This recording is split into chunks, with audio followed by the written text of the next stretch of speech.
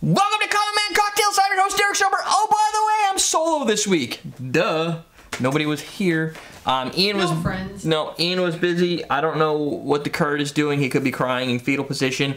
um, I, he, I did talk to him yesterday while he was driving home. He went to do a a, a tasting or a, something, a, whis- a class, and he forgot all his bar gear at home, and they had to drive home and all the traffic into Newton, and then come back out, and he was all stressed out. Uh, so he's not here. Ian had a party to go to, and maybe he'll stop by if they get out early. I don't know. But until then, you got me, and we're going to be making the 2000 Flushes cocktail. This, yeah, the Really? name, yeah. Didn't we do something like that? No, I, I googled it. We've done the toilet water cocktail. Oh, Uh, I'm gonna guess this is similar. It's really easy. You take blue Sounds curacao tasty, and you can make anything blue. And the first thing you may think of is either 2,000 flushes or those little urinal cakes. We need the urinal cake cocktail, and it'll have cake vodka in it. um, we're gonna do a half ounce of one, two, three, four, five ingredients: lemonade, Sprite, mango rum, blue curacao, spiced rum. For spiced rum, I'm using sherry cask, limited edition, Captain Morgan, because I can. Um, you can use whatever you want. I wouldn't use regular Captain Morgan because it sucks, but um, if you have private stock or anything else, uh, black, if you want to go Captain Morgan style. Otherwise, Sailor Jerry's, um, all the other ones that's that exists, Blackbeard, anything that's just not original Captain Morgan. Kraken. Because it sucks. Kraken. Um, then you're gonna do blue curacao, mango rum, Sprite, lemonade. The lemonade I made myself. somebody may like the original. It sucks to your taste buds. It should suck to everybody's taste buds. If Not if, Jose if Cuervo. But it sucks. It's boring. It's like I follow. People hand me a, a Captain Morgan original, and it's like I want to fall asleep in it. It's nothing. It's just not good. It's boring. It's not bad. It's just boring. And why bore up your cocktail when you should make it with something that's not boring? What I'm saying. Fine. Just saying. All right. So for this, I, I brought these this whole bag of ice, and I haven't needed ice yet. Oh, that's a lot. Just put ice in the cup right there. No, no, but the, the I have my square ice for like Oh. cocktails, and I needed it, so I'm kind of I'm kind of sad. Oh, you know what? Dominic says Morgan Original is better than Sailor Jerry. Uh, personal preference in that case. Uh, Sailor Jerry's is not my favorite. Sailor Jerry tastes insignificant. Captain Morgan tastes. You're talking about two that may taste insignificant. There's not a lot. Oh, Cruzan Nine's another good one. Um, yeah, uh, Sailor Jerry's isn't my favorite out of a selection. If I had to select through a bunch of them, that probably wouldn't be one I choose.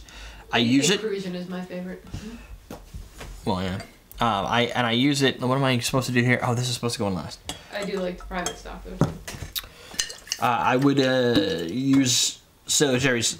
I use it mainly if Curtis is on the show because he has to have, for the, for now at least, have uh, one of his products out there as would be appropriate. Boom, boom, boom, boom, boom, boom.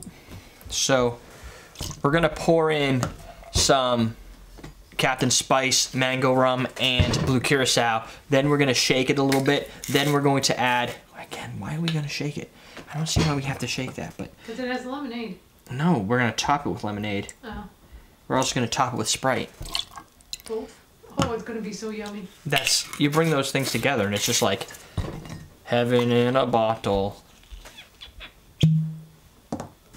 But I don't understand why we have to sh- shake it. Maybe it's gonna give it a better color. Maybe that's what they said to do, so I'm gonna do it. But that's what we're gonna do. Plus, I haven't shaken anything this week. Only the second show.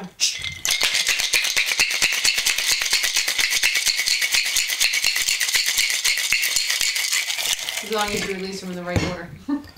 Yes, I'll say it's only the second show, it'll be the fifth. I always attempt to release them in the right order, except when I don't. Do, do, do, do, do. You can put this in whatever type of glass you want. I figured because the ingredients are so small that I would just use um, a, a glass that was equivalent in size. Boom. Dun, dun. Oh, oh, sprayed in my face. Now we'll carbonate that up. Boom. Done. You know,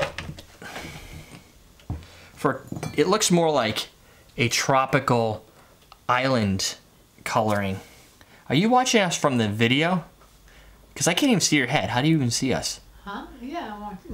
Us. There's only you, first off. Oh yeah, Uh-huh. why does it matter? it's turquoise. Yeah, It's just weird. I can't. I can see. It's. I see your little the top of your head, but and you see what I'm doing, but I can't see what you're doing. So it's just weird. Yeah. It smells really nice. smells like uh, citrusy, lovely. I don't even almost like a, a, a new flavor of, of lemonade. You're gonna need to quadruple these ingredients to make a full drink. It might be sweeter. This might be a good size actually because it does have a lot of draw of, of sweetness. Um, and the lemonade, unlike say a sour mix, which tends to it's it's got sweet and sour balance, but lemonade tends to have a little bit more sweet, bringing in some some lemon. And this is a natural lemonade I made with simple syrup and just squeezed some lemon. So there's probably a little more tart to this. You could even make it sweeter. Uh, the Captain Morgan, you taste it lingering in the finish. It doesn't present itself right away, and you wouldn't know otherwise that there's even a darker colored rum in here.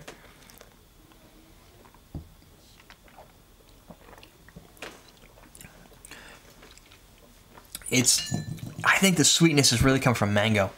Because this stuff, all of their brands, whoosh, all the way down the line, tend to be pretty darn sweet.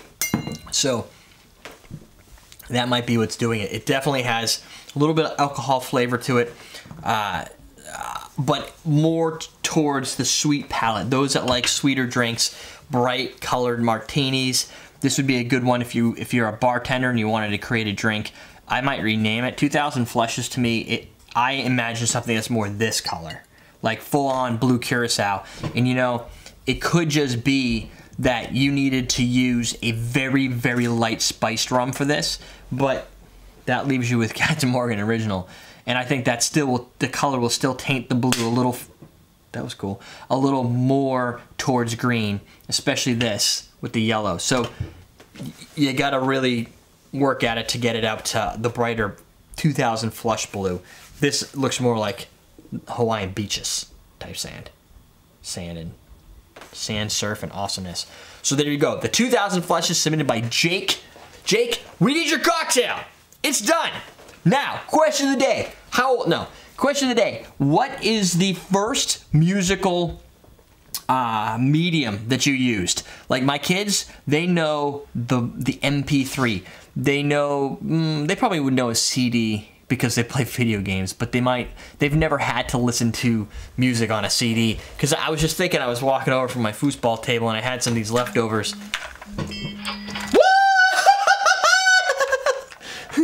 Sorry, that was a that was a sale. Um, You the- hear the kids echoing you up there? the kids were cheering on too. Um, this one's Cars. The Cars. Oh, it's got Deep Purple on one side. Somebody must have recorded this one. Uh, it's even got noise reduction checked off. Yes. I don't know where I got that thing. And of course, the Jerky Boys. Is this yours or mine? I don't remember having the Jerky Uh, Boys that might be mine. I like the Jerky Boys. on tape. Side A. How are you old enough to have used these? Eight tracks, I had just kind of escaped eight tracks because uh, we had them in the car. I know my mom had them, and they were they were always on the floor of the car moving around. But my first real musical device was a record player, one of the small ones, like the whatever they call Yeah, those, those mini eight- mini or eight or what? I don't know what they call them. the small ones, and it was 45s. And mine was, I mean, at the time it was like Disney stories, because I remember as a kid having them and I listened to them at night before bed. Um, I don't know if I ever shut off the record player because it would just go over and over. And then my real first, when I got older, I thought this was actually going to be a Whitesnake because this looks like my Whitesnake. But how how did you first digest your music experience? That is a question not alcohol related at all. So I don't know what you're gonna do. Um, what is the best rum you've ever tasted for sipping it alone? Best rum ever tasted for sipping alone? Is that a question to the Yes, day? Question of the day. Best sipping rum. For me, the Penny XO is really good. Uh, I know a Yeah, lot. Of, that was really good. I, I know some some some women friends who we'll just put like this Cruzan mango or key lime on ice, on ice, and they're done. That's it. They're good to go with that. Which is a very affordable way of doing things. This is like at least around here, like nine, ten bucks. You get yourself a good time, and you don't have to put a lot of work into it. What's fair sipping rum? Or are you more the hardcore? Like I'm gonna sip some like single barrel estate rums, stuff like that. That's there's your alcoholic question of the day. So first, you're gonna tell me what your first style of music was was listened on, because I bet you anything, based on the age 21, there are probably folks that watch this show that started at the CD level. And that was like where you started. I loved my first CD player. I was like, this thing's awesome. Skip songs. You don't have to rewind. You listen to the tape. I used to make backups of my tapes on stuff like this because they'd all get ripped and torn inside because I just rewound them so many times. And you get the rewinding that would slow down before it stopped. That was technology, man. Um, everydaydrinkers.com. Classic martini glasses and our uh, decanters. You can always head out to awesomedrinks.com. These have been very popular, and oddly enough, since I started using these more, now we're getting sales. Eric still has two turntables, on about 112 inch singles. I really wish I had a record player. You could buy them. Like I don't wish that much because you could buy them, and, and I think they even have ones that you can use to, to record onto MP3s and do do other stuff with if you wanted. Why would you ever do that? That would drive me nuts. Because the fidelity of a record player is supposedly so good. No, you hear the little cracks all the time. I know. That's why I don't ever understand. I'm not a, an audiophile to the level of understanding how listening to it on a record player is that much better. But I guess if you have old LPs and you want to be able to to really save them, and you don't want to rebuy, and you want to make MP3s out of them or something. But I know they have new devices. They probably even have one that plugs into USB. You can listen on your computer. It's weird how we don't let things go. But I'm going to let this episode go. EverydayDrinkers.com. We're teaching you how to drink.